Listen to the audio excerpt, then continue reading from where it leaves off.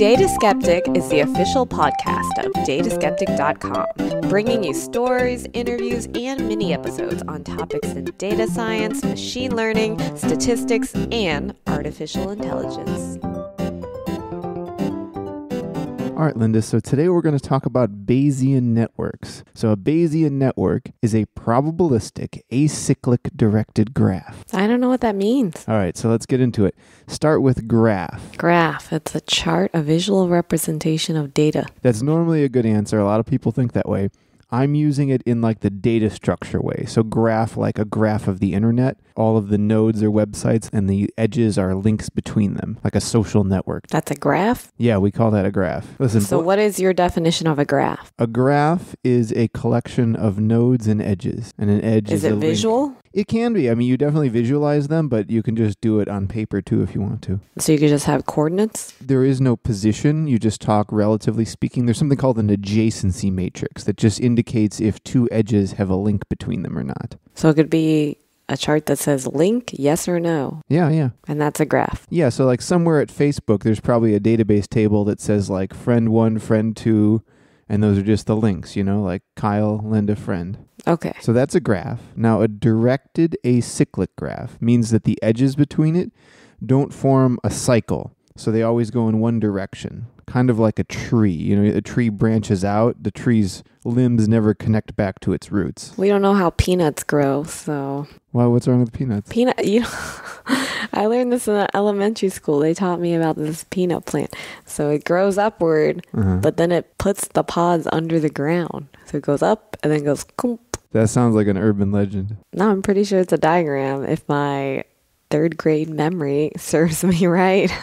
Well, all right, we'll have to look that one up. Lastly, it's probabilistic in that in a Bayesian network is a special kind of use case of a graph. So keeping in mind that a, a graph is kind of like a social network, but in, in our case, a Bayesian network, the nodes are not people, they're ideas, they're random variables. A random variable, if it was a problem about a car, could be like how long ago you got an oil changed, whether or not it has a flat tire, just any sort of detail you would have. A- another node could be like, is the check engine light on? Now, there's many things that can turn the check engine light on, right? Oh yeah, at least with uh, Toyotas. Yeah, especially our car. I don't think we've ever had it off really for a very extended period of time. Yep. I'm just used to that false alarm right there. That's what we call a type 2 error. Just because it's on doesn't tell us necessarily what the problem is, Yep. It just says check engine. although it's probably independent of whether or not we have a flat tire, right? They have another light for a flat tire. If we were drawing a Bayesian network of the car, there'd be a node for, you know, is the tire flat or not? And there'd be a node for the check engine light. And they wouldn't directly link because the flat tire would not cause the check engine light to go on. But the random variable of how much oil you have in the car, that would be linked to the check engine light because if it gets low, there's some probability it'll turn the light on. A node like uh, whether or not the check engine light goes on, it has a bunch of incoming links from other nodes. And then there's something inside of it called a conditional probability table. And it describes the likelihood of the state of that node based on all of the inputs. So, in the case of, let's say, this check engine light, if the input is the level of oil, if the reading is full, then there's a very there should be a low likelihood the light is on. If the level of oil is very low, there should be a high probability that the light is on, right? Uh, yeah. Assuming the light works. Right. Yeah. The accuracy of the system, how well tuned of a metrology device it is, that's going to be captured in this conditional probability table. So we say, what are the probabilities that this variable will be in these different states or have these different values given the input it has, which you may or may not know, right? Mm-hmm. but you can describe what you know about those other nodes probabilistically. So you can say, like, well, I think these things might be true. And then the whole Bayesian network, the reason it's Bayesian is because it updates all of the beliefs you have over those different random values. Like, can you give an example? Let's put a Bayesian network in the context of like a, a medical application, like in a doctor's office or something like that. Hypothetically, you go in complaining of fever. The doctor, in their mind, or maybe they have a piece of software that actually does this, has all of these things they can measure about you your blood pressure, your temperature, any complaints you have, the amount of pain you report to be in, these sorts of things. And then they have some nodes, some random variables that represent that, like what it could be caused by. So, for example, if you report like feeling dizzy, well, that could be related to blood pressure, or it could be related to, I don't know, probably two or three other things. And all those things could be related to you having a certain syndrome or disease or virus or something like that. Okay, there's things that cause other things, Yep. and you could narrow them down based on symptoms. Yep. And you know the relationship between them. So, for example, if I go in complaining that I have a headache, the doctor's probably not going to x ray my, my bones to see if I have a broken bone, right? Well, you're saying they would rule something out. Yes. So, the doctor has a belief over your medical state. And it, and you can express that belief in the Bayesian network as a belief over the value of every node. How about the belief you have malaria? Do you think if you went in, uh, if you went to the doctor complaining of a fever, would the doctor assume that you have malaria? Well, assuming you live in the US and that's where you hang out with most of your time, Right. Then they'd probably not look towards malaria, but they would ask some questions. So they would ask, Do you travel? Malaria is present in tropical countries and climates where mosquitoes breed a lot more. So the doctor begins with this maybe low probability that you have malaria. And then you report, hey, I've been having fevers. Now, what changes in their beliefs? A lot of things change. Their belief that you have just a standard fever goes up. Their belief that you probably have a wide array of other possible diseases, including but not limited to malaria, goes up a little bit because something is causing the fever, and it could be one of a lot of things, right? That's just a common immune response. Mm-hmm. So then the doctor's like, well, I want to learn, you know, can I figure out the causal aspects of why this person has a fever? So they'll start asking other questions where essentially they get new information that they can't observe. So the doctor can't directly observe if you have malaria. Well, I mean, I guess they could take a blood test. That's pretty much a direct observation. But before they mm-hmm. do that, they'll ask you questions. Good one was, have you traveled recently?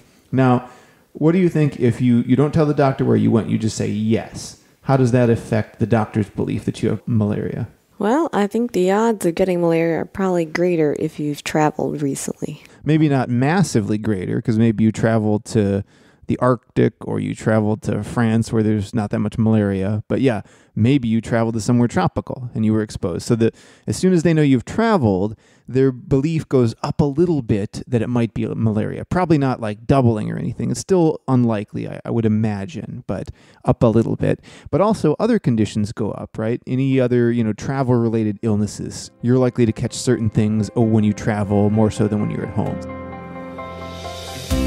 Let's take a break from our show today to talk about our sponsor, Periscope Data. Instead of telling you about some of the features of their product like I usually do, today I wanted to give you a little bit of a personal testimonial about the way I use Periscope Data. So there's a company I did some machine learning work for. So as every data scientist will tell you, garbage in, garbage out. If the data is no good, the models aren't going to work at all. So, as is typical, I spent a lot of time building up the right filters, how to exclude things that for whatever reason didn't count, and you know, test accounts and all this kind of stuff. And I built up a view that really worked for me that I could power my model with. But of course, I was left with the nagging uncertainty that what if the underlying data shifts and that somehow screws up my model or causes drift in an unpredictable way? Well, I solved that with Periscope data.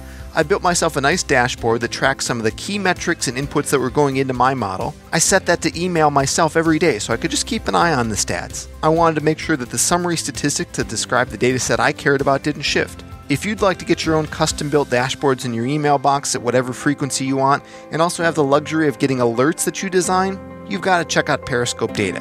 To get started, head over to periscopedata.com slash skeptics.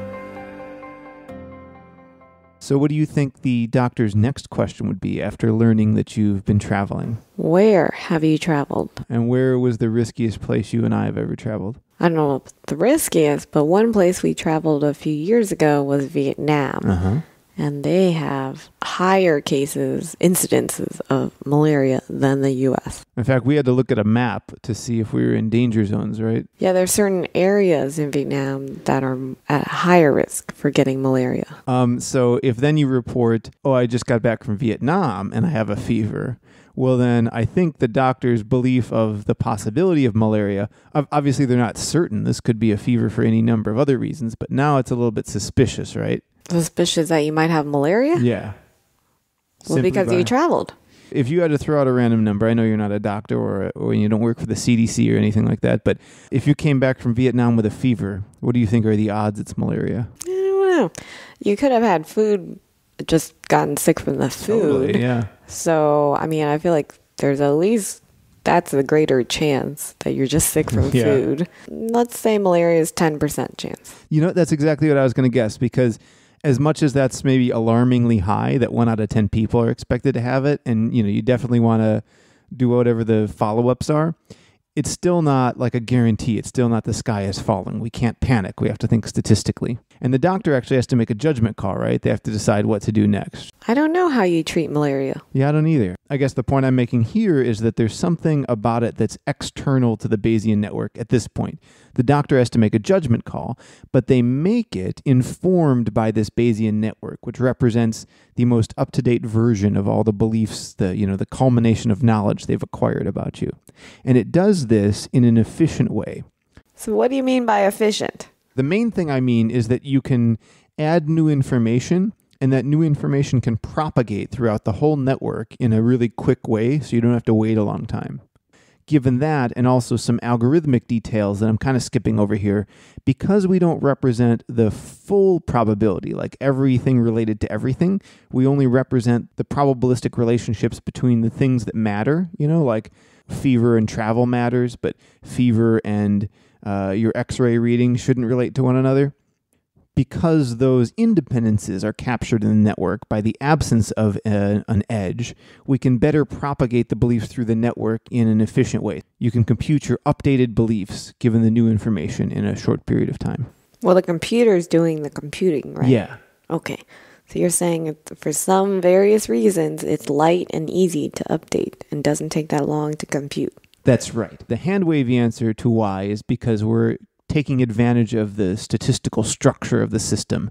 If people want more details, let me know in the comments. Maybe I'll do like a detailed blog post because I actually think it's an important result, but a little bit too deep maybe for the mini episode. Basically, we should walk away knowing that a Bayesian network is this. It's some kind of graph with nodes. That's right, yeah. So each node is one random variable, one property you know about a system, and all the edges just describe the conditional dependencies.